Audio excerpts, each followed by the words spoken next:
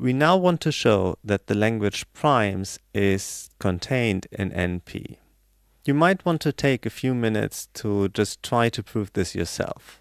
See if you can come up with a succinct certificate for this language primes that can be efficiently checked by a verifier. You will see that this is highly non-trivial. You will probably not be able to come up with a proof very quickly on your own. But maybe I can help you and give you a hint. There's a theorem called Lehmer's theorem, which states the following. An odd integer s is prime if and only if there exists an integer that is bigger than 1 but smaller than s, such that t to the power of s minus 1 is congruent 1 modulo s, and t to the power of s minus 1 divided by p is not congruent 1 modulo s for all prime divisors p of s minus 1. Maybe you've heard of Fermat's little theorem before. Lehmer's theorem is basically the converse of Fermat's little theorem. If you know a little bit of group theory, it is not too difficult to see that Lehmer's theorem is true. But I'm not going to prove it here. Just assume that Lehmer's theorem is true, and I'm telling you it is, and see how you could use that theorem to come up with a certificate for the language primes. It seems like providing a number t that has the properties mentioned in Lehmer's theorem would be a good candidate for a certificate. The verifier could then try to check that t indeed has the claimed properties. It would be easy for a verifier to check that t is an integer larger than 1 and smaller than s. It is also not too difficult, although we will talk about this a bit more later, to check that t to the power of s minus 1 is congruent 1 modulo s. But we run into problems once we think about the second condition here. t to the power of s minus 1 divided by p should not be congruent 1 modulo s for all prime divisors p of s minus 1. So the question is, how can we check that efficiently? In particular, this would require us to know all the prime divisors p of s minus 1. This seems difficult to do if we don't know the prime divisors of s minus 1. How could the verifier efficiently perform this check if it does not know what the prime divisors of s minus 1 are? The trick here is easy. We just include the prime divisors of s minus 1 in our certificate. Specifically, we just provide the prime factorization of the number s minus 1 to the verifier as part of the certificate. So the certificate would include the number t and the prime factorization of the number s minus 1. So with this information, it seems like the verifier should be able to check everything the verifier could now go through the prime factorization of s minus 1, look at each prime factor, and for each one check whether t to the power of s minus 1 divided by p is not congruent 1 modulo s. However, there is an additional complication, because the verifier cannot just blindly trust that the certificate included the correct prime factorization of s minus 1 the verifier would have to, well, verify that the prime factorization provided is indeed a correct prime factorization of s minus 1. It's easy for the verifier to check that if it takes the prime factorization and multiplies all those numbers together, it really obtains s minus 1. But what's difficult to see is whether the factorization of s minus 1 is really a prime factorization. So to see that all the numbers in the factorization are indeed prime numbers.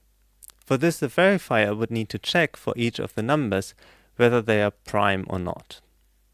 But how can we do this quickly? Our entire problem has been, from the start, that we wanted to know whether a number is prime or not. So it seems like we're going around in circles. We broke our problem down, but we ended up at a place where again we need to check whether a number is prime or not quickly. So are we stuck here, or is there a way out? The important thing to realize is that the new numbers we now want to check whether they are prime or not are smaller than the number s. So there is some hope here because the problem we are dealing with got somewhat smaller.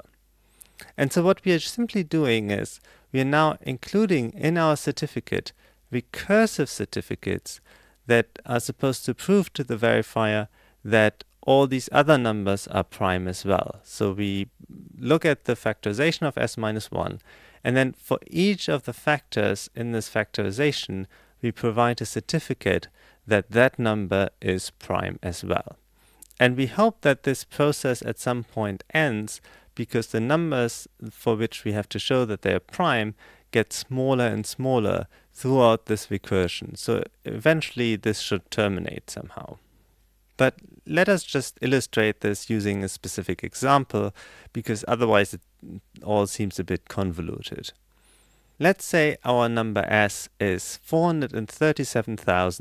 437,677 and we want to certify that this number is prime. So what we should pick is an appropriate value for t and it happens that t equals 17 is a good candidate here. So we would provide as part of our certificate this number t17. And then we would also provide the prime factorization of s minus 1. The prime factorization of s minus 1 is 2 squared times 3 times 36,473. And we now provide recursive certificates for the facts that the numbers 2, 3, and 36,473 are also prime. In fact, we don't really need a certificate to show that the number is 2 is prime. Let's say we just know this. We know 2 is a prime number and we don't want to think about it anymore. But let's provide certificates for 3 and 36,473.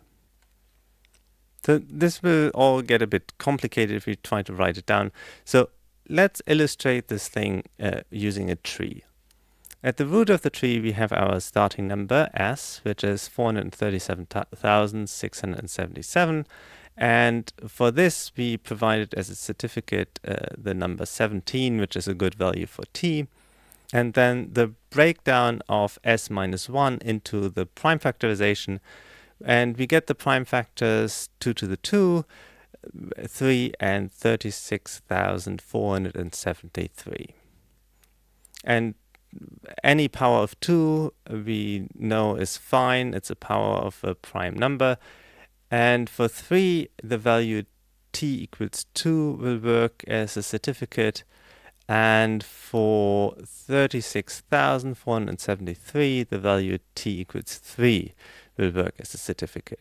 And then for 3, we need to provide the prime factorization of 3 minus 1, but that's just 2. And then for 36,473, we need to provide the prime factorization of that number minus 1. And the prime factorization of 36,472 is 2 to the power of 3 times 47 times 97. Now 2 to the 3 is a power of 2, so we know 2 is a prime number already. For 47, we certify that that is prime using the value 5 for t. And for 97, we provide uh, as a certificate the value 5 for t as well.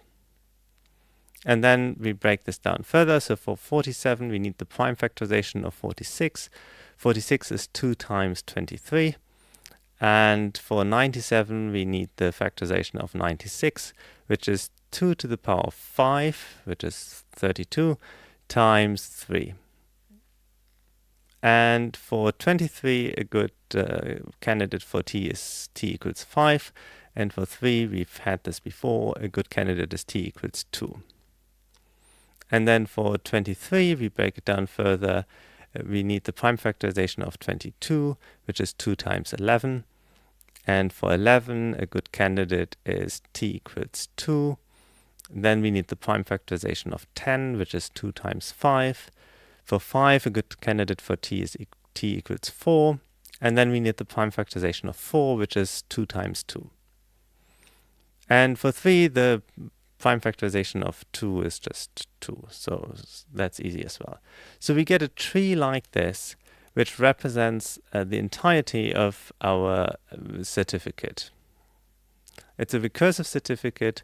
We start with the number at the top. We provide the value of t. We provide the prime factorization of the number at the top minus 1. And then uh, for each of the prime factors, we provide recursive certificates. So we get this recursive tree. And we observe that the leaves of the trees are all powers of 2, because for 2 we say we just know 2 is a prime number. Now remember that we have to be careful because certificates need to pol be polynomial in size of the input. So in this case, the certificate needs to be polynomial in log s. Is this the case here? uh, we have to convince ourselves that this is really true. So that the total information encoded in this tree is not more than the order of some polynomial function of log s. We start by arguing that the tree does not have too many nodes. Observe that the value of a node in the tree is larger than the product of the values of its children. And because of this, a value of the node in the tree is also larger than the product of the values of all the leaf nodes in that subtree. In particular, if we look at the root node of the tree, that value in the root node has to be larger than the product of the values of all the leaves in the tree combined.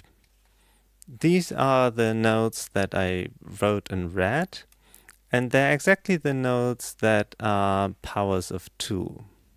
In particular, the value of each leaf is at least 2, and the product of all the leaves is no more than the number s. And therefore we know that there can be at most log s many leaves. If we had more of them, their total product would result in a number larger than s. So we have at most n equals log s rounded up many leaves. But how many non-leaves do we have in the tree? How many internal nodes does the tree have? Each internal node has a leaf as its child.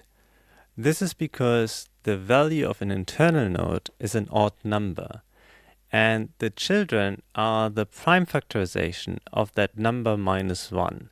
So the children are prime factorization of an even number, and therefore 2 is part of that prime factorization.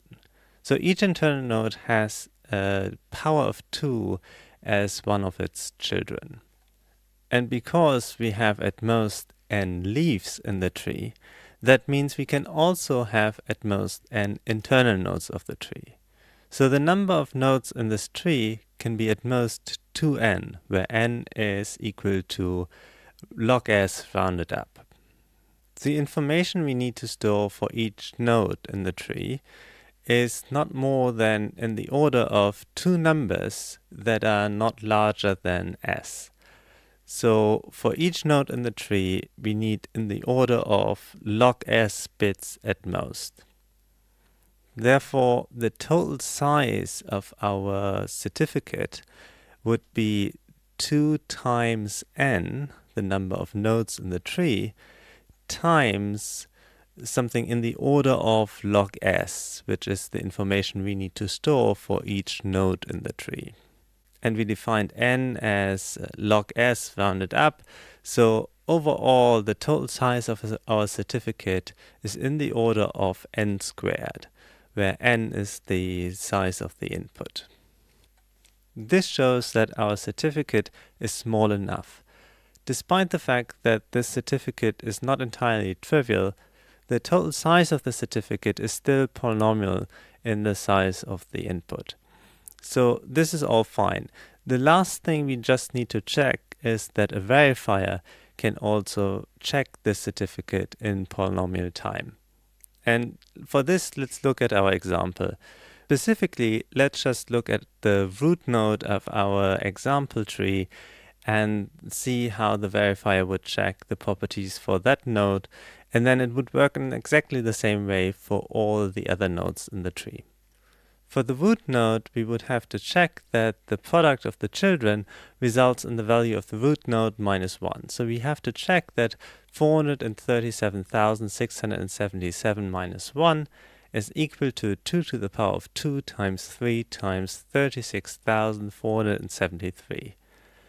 That's easy to do. That's just we multiply these numbers together and check that the value is the same. Now, we also need to check that uh, the other conditions of Lehmer's theorem hold using this value of t that our certificate provides. So we would need to check that t to the power of s minus 1, which in this case would be 17 to the power of 40, 437,677 minus 1, is congruent 1 mod 437,677. Now, for a moment, let's just assume we can do this efficiently, although this is not really easy as we will later discuss.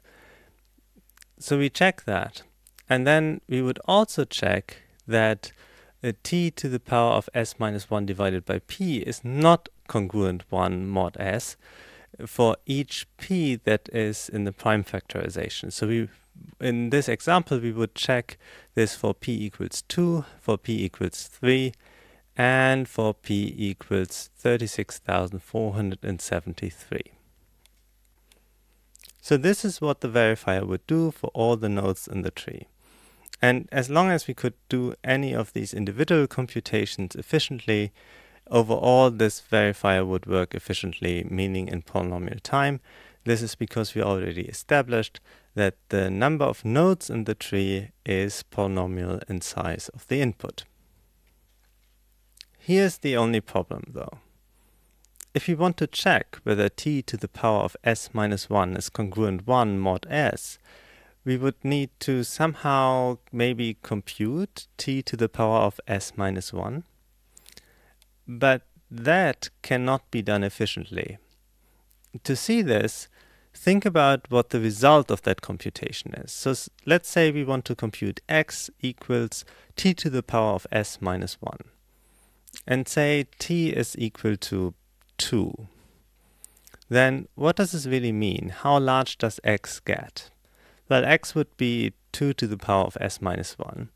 And if we want to just write down the result of this computation, we would somehow need to write down the value x. And the best we can do is we can encode the number in binary. And if we do that, we would need log of 2 to the s minus 1, many bits to do so. But log of 2 to the s minus 1 is equal to s minus 1. So the number of bits we need to encode a value like x in binary encoding would be s minus 1. This is way too much. This is exponential in the size of the input because remember the input only consists of log s many bits. Therefore, we cannot afford to do a computation like this. We cannot just compute t to the power of s minus 1 we somehow need to check whether t to the power of s minus 1 is congruent to 1 mod s in a more efficient way. I will discuss how this is done in a separate video because it's a general principle, it's a very nice algorithm that is of independent interest.